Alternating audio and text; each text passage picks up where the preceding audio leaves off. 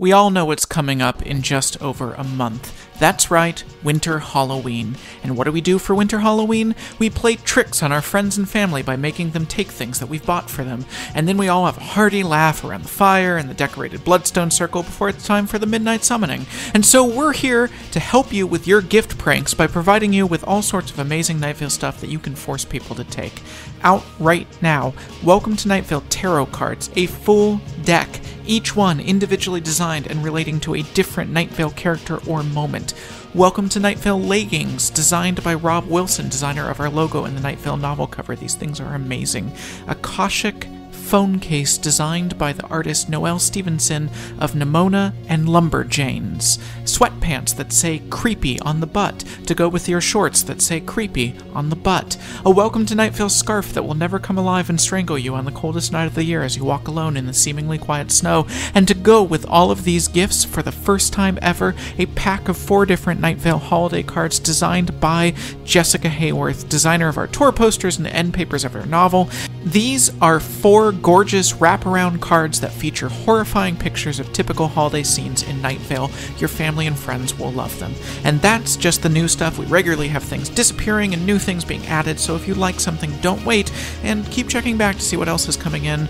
Welcome to nightvale.com and click on store. Uh, that's it for me. Welcome to nightvale.com for info on our upcoming New York shows, which is North America's last chance to see our touring script, The Investigators, with a full cast of guest stars and a full band version of Disparition playing the music live, and also info about our Australia and New Zealand tours with new added shows in Auckland and Melbourne after previous shows previous shows sold out, and a move to a much larger venue in Brisbane. Thank you to everyone who is reading the novel or will read the novel. We are 19 stops into our 21 stop book tour, and the book is now in its third week on the New York Times bestsellers list. So this has been an unbelievable experience, and we're so glad that we could share it with all of you. Hey, thank you so, so much. Cook a feast no family could fully eat. Recite prayers no family could fully believe.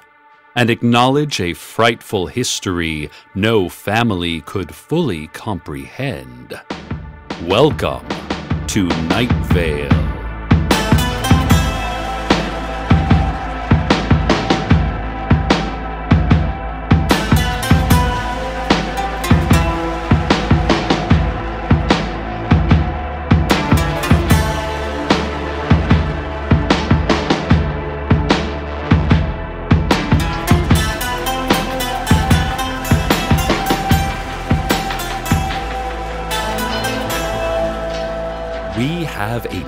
For you today, Night Vale.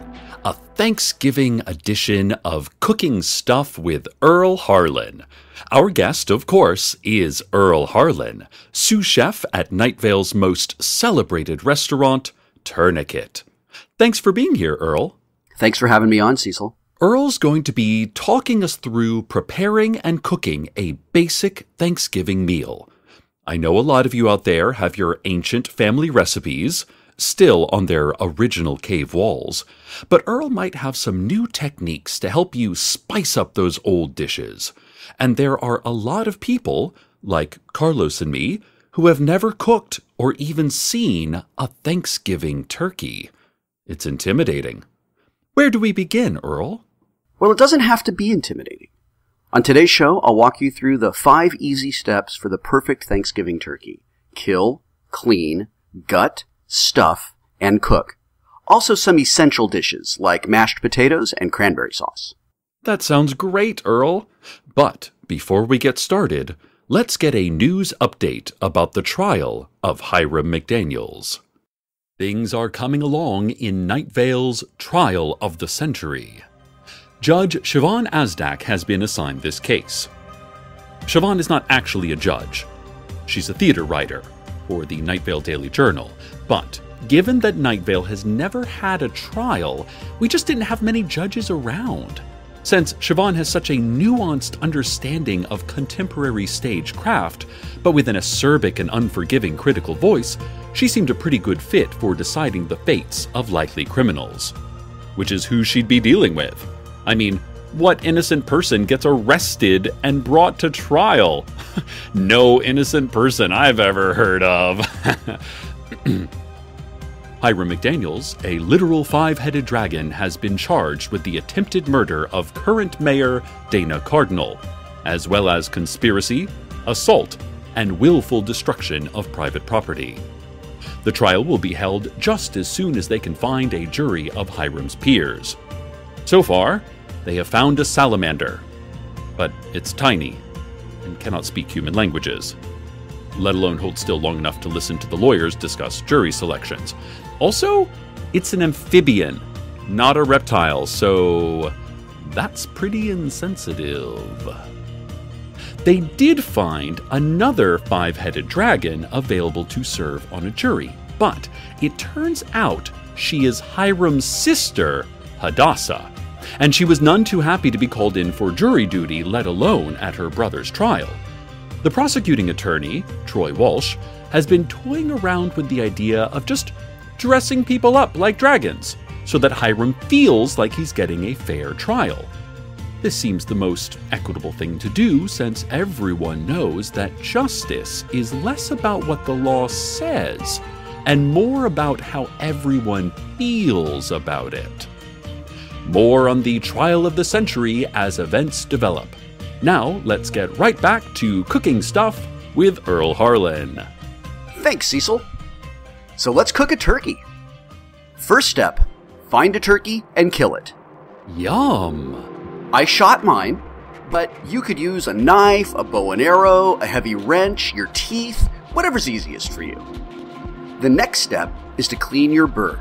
Pluck all of the feathers from its lifeless corpse. Cut off its head and all six of its hooves. Now, adventurous culinary experts out there could pickle those hooves and serve them with ice cream for a traditional Svitshish dessert. Next, gut the turkey and don't be intimidated by the stench. Just stick your knife deep into its belly and allow everything to pour out onto the floor. You won't need any of that mess. Well, my mother actually used to cook turkey organs for us. She said they were called giblets. Oh, your mother lied to you, Cecil. Then what was she feeding us? Let's stuff this turkey. What do you say? Okay. I used to make my stuffing from stale bread, but since wheat and wheat byproducts can turn into snakes and kill you, I just take old newspapers, wad them up, and shove them into the turkey. They absorb most of the bird's toxic fluid, so same result really. After the stuffing, throw in some seasoning like salt and pepper, thyme, sage, a fistful of grass, anything you find lying around. Just put it in a pile on top of the turkey and slide it into the oven. While you're waiting for it to cook, maybe catch a football game on television. I plan on watching some games this year with my son Roger. Last Thanksgiving we watched football together. But at the time, I had just come into awareness of myself as an adult and suddenly had this son that I didn't know at all, so I didn't know his name. It was awkward. Plus, neither of us had heard of football, let alone its Byzantine laws and restrictions on dancing. We both sat silently waiting for it to be over, wanting to speak to each other, unable to find the words. Not talking can be a blessing, Earl. Well, Thanksgiving Day football games are my favorite because my brother in law doesn't talk to me for hours. Carlos likes watching the big parade, but I don't deal well with gore, so I cover my eyes and have him describe to me how they all die. I'm trying to build family traditions with Roger.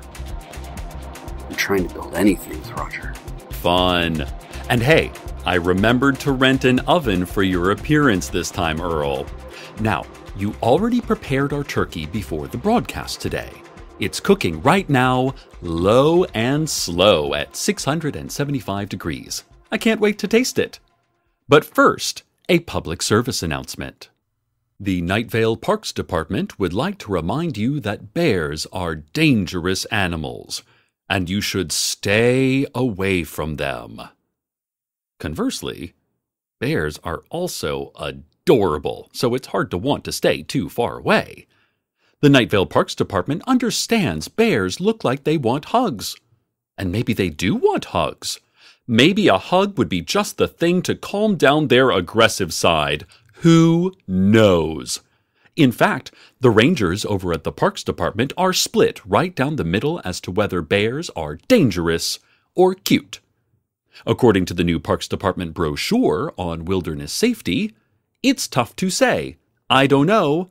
Try hugging a bear, see what happens. What a weird brochure. Bears are dangerous animals, Cecil. No one should ever Let's hug not argue, Earl. This has been a public service announcement created by the Night Vale Parks Department and paid for by a bunch of bears that pooled their money and bought some airtime. Let's talk now about the ultimate Thanksgiving side mashed potatoes. Right. Mashed potatoes are a simple dish in concept, but they take skill to master. A lot of people think they only need to mix potatoes, stock, butter, and cream, but there's so much more to it than that. Really? I've been using that standard recipe for years. It seems fine. Oh, but Cecil, it could be so much better. For instance, you could cook those potatoes for about 45 to 60 minutes to really soften them up. A raw potato is quite hard to mash, let alone chew. Oh, I never thought about that. People also forget to take the butter out of its wax paper or foil wrapping. You should definitely unwrap your butter before using it. Also, make sure your cream is fresh. You don't want to use any heavy cream older than, say, six months. Amazing! I would have never thought of any of this. And listen, salt and pepper are fine for mashed potato seasoning, but if you really want to step your dish up a notch, really have your family clamoring about your kitchen skills, then let me tell you my secret spice mix. What is it, Earl? I use slightly more salt and a little extra pepper. Just a tad. Amazing! Then you just put it all in a pot and mash it with your feet until it's warm enough to serve. You know, I recently made this dish for me and Roger. Did he love it? I couldn't tell. He ate it and then said, Thanks. Um. And then I said, Dad? And he said, Okay. And he went to bed. Oh, how sweet. Lately, I've noticed he wakes up in the middle of the night and just walks. I got up quietly and followed him one night. He walked out of the house and into the neighborhood. He walked down each street in our subdivision, never backtracking or walking the same street twice. He didn't stop or look at anything. He just walked in the darkness. Once a hooded figure passed him, but neither of them acknowledged each other. The hooded figure saw me, for sure, but I think they also saw that I was just a concerned father and was not interested in spying on any of their secretive activities. The hooded figure nodded and let me pass. And Roger came home after that. Yep. He walks each street, each night in a different pattern, and then returns to bed. Quite an adventurous kiddo you have there. Let's pause now for a word from today's sponsor. With that, here's Deb, a sentient patch of haze. Hello, human listeners. Today's show is proudly sponsored by corn. It's almost Thanksgiving after all, and you wouldn't have Thanksgiving without corn. Thanksgiving is America's holiday. Corn is America's crop, America's lifeblood. You can't live without corn. If we didn't have corn, we wouldn't have tortillas or syrup or soft drinks. Without corn, we wouldn't have dogs or cars. We wouldn't even have a moon. Everything is made of corn. Listen to your heartbeat. Zzz. You hear that heartbeat of yours? I'm a patch of haze. I don't know what a heartbeat sounds like, but this is what I imagine it sounds like. Zzz. That sound in your chest is corn, my friend. All of that corn pumping through your delicate mortal veins. You didn't choose how you got here. Neither did corn. You are both products of free market and overpopulation. Corn. Eat it. This message is brought to you by the corn and imaginary corn farmers of America. Thanks, Deb. It's really humid in here. That's Deb for you.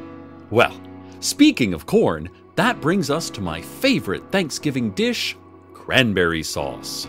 A lot of people look down on canned cranberry sauce, but don't be so quick to judge. It's inexpensive, easy to store, and with the right preparation, you can elevate this plain can of red gelatin into the most talked about dish on the table. Great news! I have an entire cupboard full of canned cranberry sauce. I'm looking forward to hearing what I'm supposed to do with it. Earl? I found Roger one evening in the cupboard. He was just sitting there. He wasn't hiding or crying.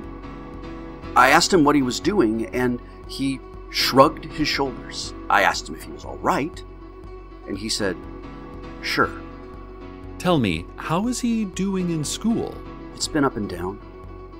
There's no record of his birth or his existence prior to last fall. I don't know of any birth mother, and he has no memories prior to showing up at my house for the first time a little over a year ago. The school has let him enroll and take classes despite his lack of paperwork. He gets along with most kids okay, but some tease him and call him names like Ghost Child and Zombie Kid because his skin is grayish and decaying and he is nearly transparent. Ouch. Kids can be cruel. He's really good in class, though. He's still in elementary school because he looks about eight or nine, but his teacher, Ms. Blackwell, said he has adult level reading and math skills, so we're trying to get him more advanced material. He's been reading Immanuel Kant for a book report. Roger's such a bright kid. You're a good father, Earl. You know that, right? I have no idea what he's thinking, Cecil. I try to talk to him, but he seems uh, distant, bored. I don't know. He's a child. It's it's difficult, I imagine, for what is essentially an adopted child to He's not adopted, though. He looks just like me, Cecil. See, here's a photo of him, and here's one of me when I was a child. Oh wow. You two are identical. When was this photo taken of you? Is is that a steam locomotive in the background? Ah, fire! Oh my, listeners, it appears our oven has caught fire. Where's that extinguisher? Here, here! Where are you? Earl? Oh, there's so much smoke. Listeners, while I find Earl, let me take you all to the weather.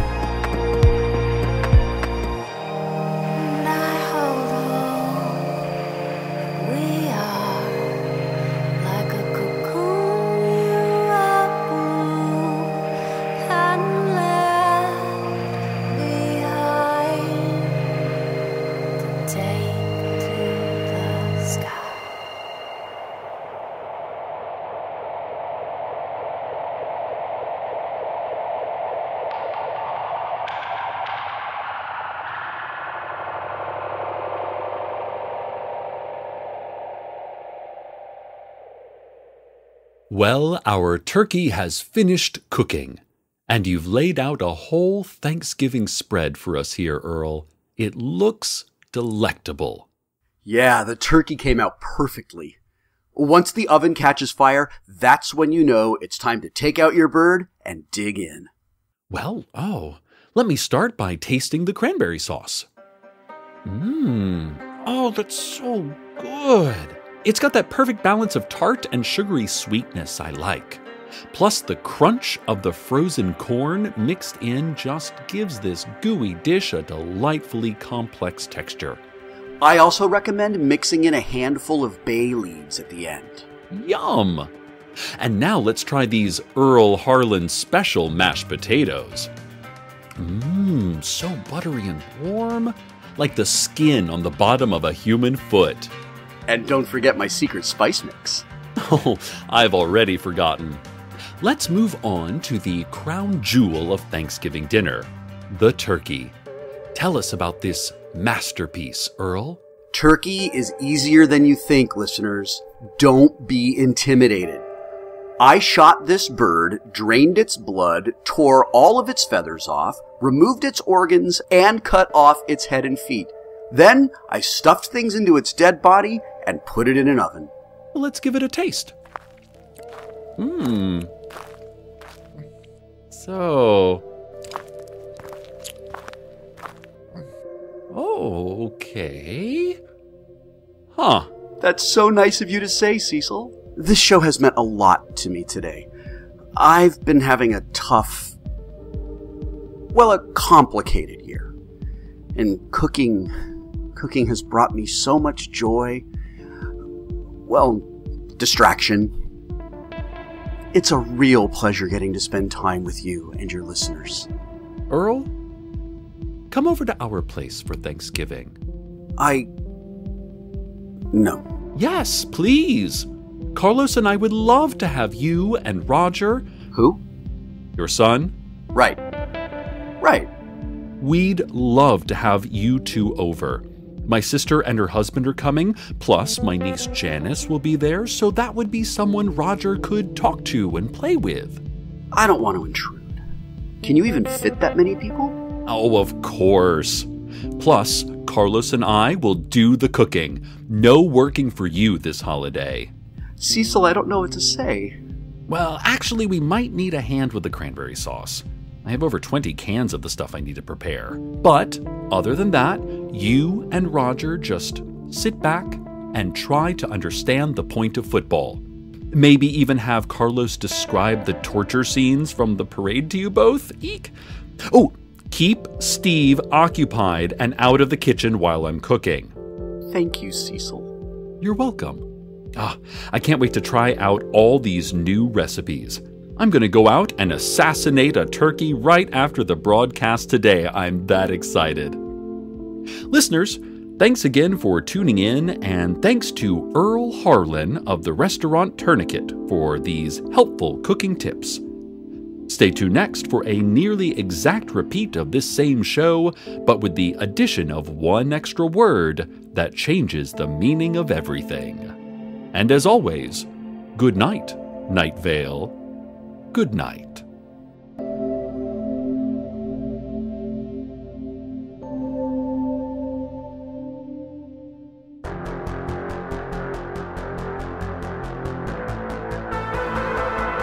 Welcome to Night Vale is a production of Night Vale Presents. It is written by Joseph Fink and Jeffrey Cranor and produced by Joseph Fink. The voice of Night Vale is Cecil Baldwin. The voice of Earl Harlan was Wil Wheaton. The voice of Deb was Meg Bashwiner. Original music by Disparition. All of it can be found at disparition.info or at disparition.bandcamp.com. This episode's weather was Autumn's Echo by Stripmall Architecture. Find out more at stripmallarchitecture.com. Comments, questions, email us at info at welcometonightvale.com or follow us on Twitter at Night Vale Radio. Check out welcometonightvale.com for more information on this show, as well as all sorts of cool Night Vale stuff you can own. And while you're there, consider clicking the donate link. That would be way cool of you. Today's proverb If a car flashes its brights at you, it's probably a gang. And if you flash your brights back, the gang gives you cake.